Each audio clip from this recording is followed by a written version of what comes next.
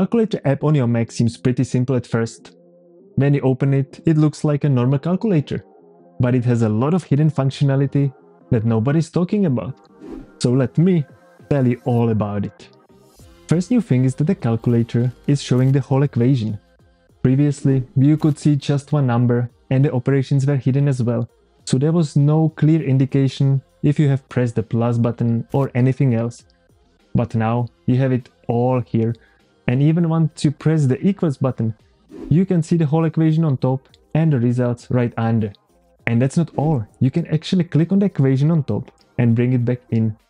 So you don't need to be retyping everything if you just needed to change one number. And when you press the equals, it will save it as a new result in your history. Yes, you can now display your history of calculations. It used to be called paper tape and it was like a separate window where you can keep a record of all of your calculations. But now it is all connected together, so once you activate it in the view menu, it will bring the history panel on the left side. And now you can select any of the previous equations and even edit it.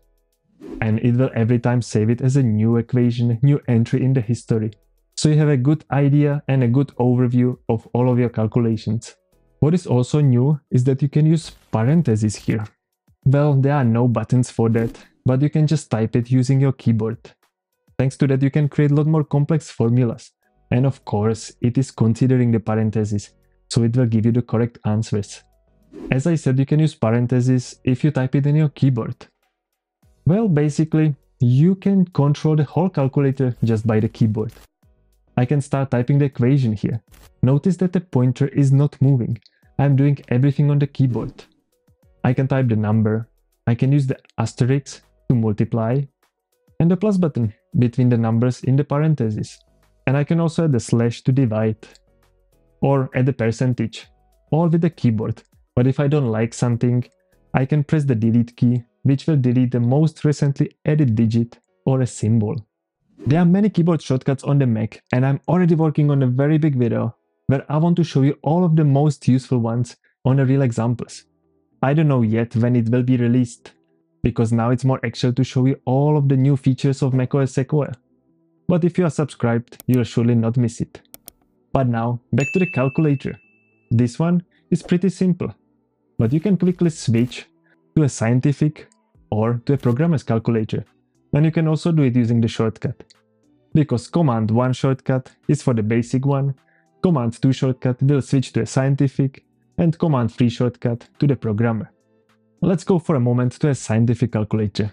This one looks like more the one we know from school, and it has lot more functions than the basic one. And if you want to get even more functions, then press the option key on your keyboard and it will reveal even more. But with all of the functions and buttons here, you might not know what all of these mean. Luckily, you can just go over that with a pointer and in a second it will show you the basic info about it. So then you can make your further research somewhere on the internet. Or you can use the help menu where you will find very useful help document which gives you a basic explanation about the calculator app and also about some of the functions you can use here. Among all of these different calculators, you have one more type of calculator here, that's the converter calculator. You previously had here the whole menu on top where you could convert any different kinds of metrics and measurements. But now it's much easier to have it all like this. So for example, I can convert miles into the kilometers. I'm going to run a half marathon this week, so now I know how many kilometers it will be. But what is more exciting is that the calculator regularly connects to the internet and getting the current currency conversions. So you don't need to be searching the internet if you just want to switch between dollars, euros or any other currency. Now let's see some interactions with other applications. Well, the basic option is the ability to copy a result or copy the equation. If I right click it here in the history, it will offers me to take either the result or the whole equation and I can now paste it in some other document wherever I want. I can also do it the other way and just copy numbers from outside and put them in the calculator.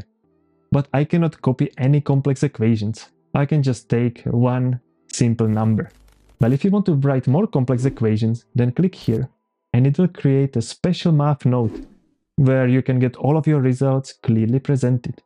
I can start typing here something simple.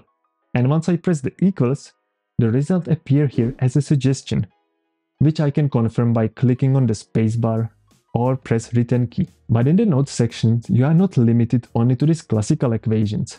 You can also define different variables and create a lot more complex calculations. To define any variable, you first need to type the letter or a word, then straight away add equals, and then of course the value of it. For example, letter x equals number 2. I can add another one, z equals 3. And now I can put them together. x plus z equals, and it will insert the result after the equal sign immediately. Actually, it's just a suggestion again, which I have to confirm, otherwise it will disappear. But I can set it up to immediately insert the result. It's down here in the format menu. It's the format menu of the Notes app, not the Calculator app. And here, I can decide if I want to keep on only suggesting, I want to insert it immediately, or I can fully turn off these automatic suggestions. And of course, everything is synced between all of your devices. So if you have an iPad with Apple Pencil, you can also write your equations there. Once you draw by hand the equation and the equal sign, it will again suggest you the result. But I'll show you all of the tips and new features of the Notes app in the next video.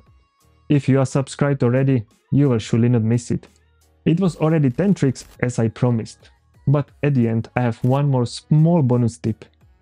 If you are calculating something all the time, it also makes sense to have the calculator visible all the time. But once I start working with different applications, opening different windows, it might get lost somewhere below that. Well, if you go to window menu and tick on this one, it will from now on be always above all of the windows. As you can see, even if I drag another window on top of that, it will actually go under. So if you want to stay on top of all the new features in macOS Sequoia, then make sure to click on the subscribe button, because I'll make sure to bring you some more tips in the next video. So see you there.